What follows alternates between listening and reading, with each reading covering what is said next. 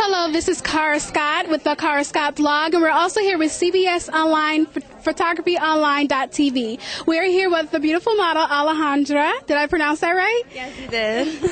So, how long have you been modeling? um, for about six years now. Six years, and you like it so far? I love it. It's amazing. Are you freelance or are you with an agency? Uh, freelance. Freelance, okay. So, what designers are you um, modeling today? For Lucy, for Joyce, and for Christian, if I. Christian? Okay, and what are your favorite designers or photographers that you've been working with?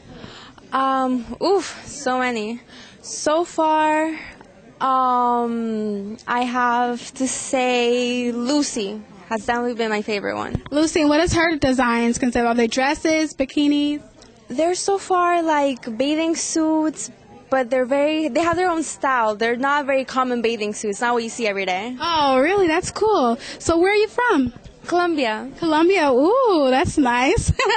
How long have you been here in the States? uh, 11 years. 11 years. That's great. Okay, so is there any um, thing that we have to look forward to for you in the future?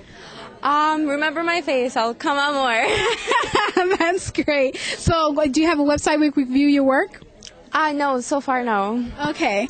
All right. So this is Alejandra we're here with. Um, you can visit this at cbsphotographyonline.tv. Thank you. Thank you. Thank you.